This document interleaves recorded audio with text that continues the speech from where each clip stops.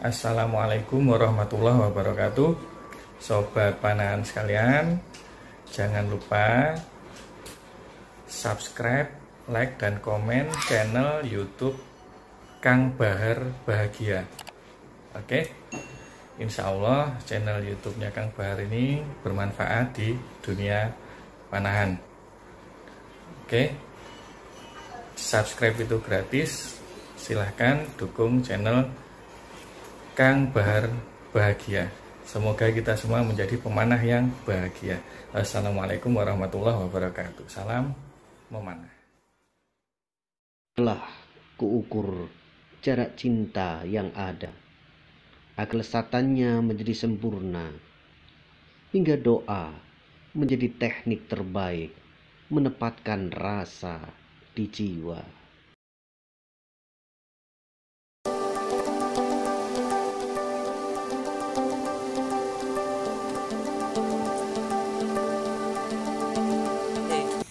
Bismillahirrahmanirrahim. Assalamualaikum warahmatullahi wabarakatuh. Jumpa lagi dengan kami Kang Bahar Pemanah Bahagia.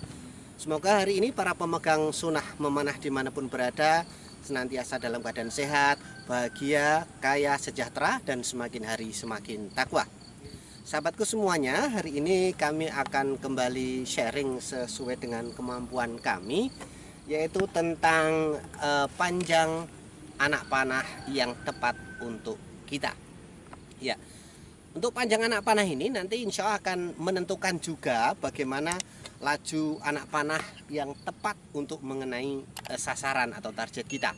Karena kalau anak panah kita nanti terlalu panjang otomatis larinya tidak bagus ya, dia akan ya lebih nggak tepat lah ininya. Yang pas seperti apa anak panah itu panjangnya. Nah, untuk pengukuran anak panah yang panjang itu sepengetahuan kami, mohon maaf itu ada tiga yaitu yang pertama dengan mengukur apa? Lengan kita ya mengukur lengan kita. Dari ujung jari kita yang paling ini ya paling ujung yaitu jari tengah ini ya. Kemudian sampai ke siku kita. Ini yang paling pas.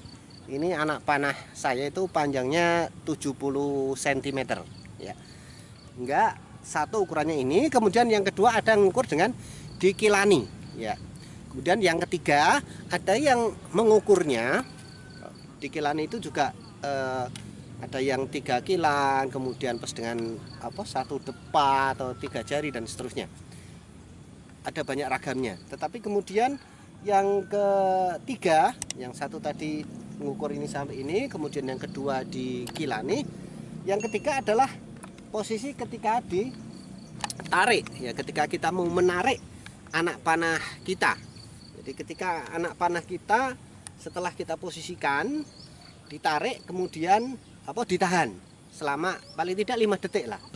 Nah, semisal kita coba tarik kita tahan. Ini ujungnya ya ujungnya ada di depan itu. Sampai lima detik. Begitu kuat ya otomatis itu tepat. Ini contoh anak panah yang lebih panjang. Ini saya pinjam eh, temen ya. Ini panjangnya 75 maaf 74 cm ya.